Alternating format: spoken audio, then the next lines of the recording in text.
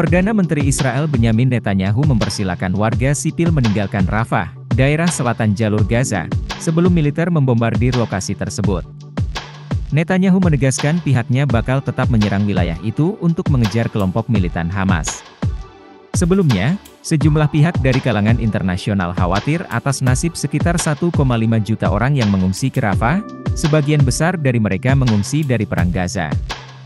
Sebelumnya, ia juga menegaskan bahwa Israel akan tetap menyerang kota Rafah, di selatan Gaza.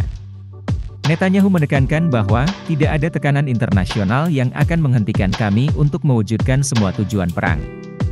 Israel berulang kali mengancam akan melancarkan serangan darat terhadap Hamas di Rafah.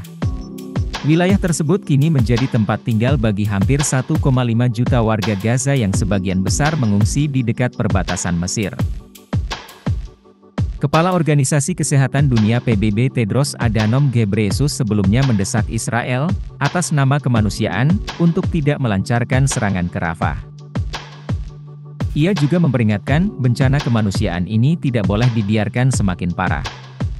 Amerika Serikat, sekutu Israel, yang memberikan bantuan militer miliaran dolar juga mengatakan mereka tidak dapat mendukung operasi Rafah tanpa rencana yang kredibel, dapat dicapai, dan dapat dieksekusi, untuk melindungi warga sipil.